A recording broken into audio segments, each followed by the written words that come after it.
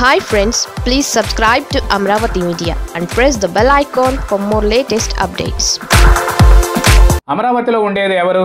AP రాజధాని అమరావతిలో ఉండేది ఎవరు? ముఖ్యమంత్రి వైఎస్ జగన్ మూడు ప్రాంతాల్లో రాజధానుల ప్రకటన తర్వాత టీడీపీ వారికి వచ్చిన సందేహమే కాదు. అందరిలో ఇదే ప్రశ్న వెంటాడుతోంది. అమరావతిలో శాసనసభ మాత్రమే ఉండబోతుందన్న సంకేతం తరువాత ఇక్కడికి వచ్చేవారు కేవలం శాసనసభ్యులు మాత్రమే. వారి పదవీ కాలం కేవలం ఐదేళ్ళే కావడంతో అమరావతిలో భూములు ఫ్లాట్లు లేదా ఇతర వ్యవహారాలపై దృష్టి పెట్టేందుకు ఆస్కారం లేదు. సచివాలయం దాని అనుబంధ ఉద్యోగులు ఉత్తరాంధ్ర కేంద్రం విశాఖ వైపే చూస్తారనడంలో సందేహం లేదు. వారికి అమరావతితో ఎలాంటి సంబంధ బాంధవ్యాలు ఉండవు.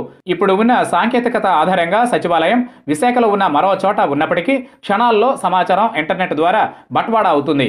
ఈ నేపథ్యంలో అమరావతి కేంద్రంగా రియల్ వ్యాపారం చేయాలని చూసిన టీడీపీ నాయకులు వారికి మద్దతుగా వెనుక ఉన్న పారిశ్రామికవేత్తలు బడాబాబుల పరిస్థితి ఇప్పుడు అయోమయంలో పూర్తిగా పడిపోయింది. నారాయణ మురళీమోహన్ వంటి వారు ఇప్పటికే కోట్లాది రూపాయలు వెంచర్స్ అమరావతిలో రాజధాని కన్నా వేగంగా మొదలుపెట్టేశారు. వీరందరినీ ఇప్పుడు చంద్రబాబు ఎలా సముదాయిస్తారనేది వేచి చూడాలి. చంద్రబాబును నమ్మి హైదరాబాద్లో ఉన్న విలువైన ఆస్తులు అమ్ముకుని కోట్ల రూపాయలను అమరావతిలో ధారపోస్తే ఇప్పుడు సగం ధరలకు సైతం కొనే నాదులు లేకుండా పోయారని ఇప్పటికే కొన్ని నెలలుగా వారంతా లబోదిబోమంటున్నారు వీరిని ఓదార్చడానికి ఇప్పుడు టీడీపీ మాజీ మంత్రులు ఎమ్మెల్యేలకు ధైర్యం చాలడం లేదు.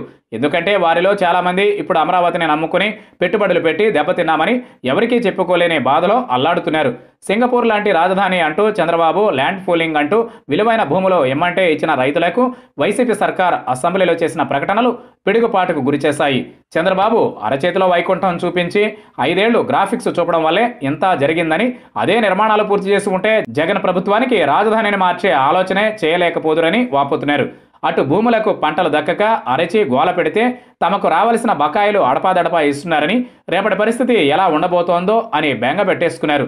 అయితే వీరికి న్యాయం చేసేందుకు ప్రభుత్వం ముందుగానే ఒక కార్యాచరణ సిద్ధం చేసుకున్నట్లు వైసీపీ వర్గాలు చెబుతున్నాయి. రాజధానిలో రైతుల నుంచి సేకరించిన భూమిని తిరిగి వారికి అప్పగించి అవసరాల మేరకు మాత్రమే ఉంచుకోవాలని భావిస్తున్నట్లు అంటున్నారు. మొత్తానికి జగన్ అసెంబ్లీలో చేసిన వ్యాఖ్యలు అమరావతి కేవలం శాసనసభకు మాత్రమే పరిమితం కాబోతుందని తేలడం ప్రకంపనలే సృష్టిస్తోంది.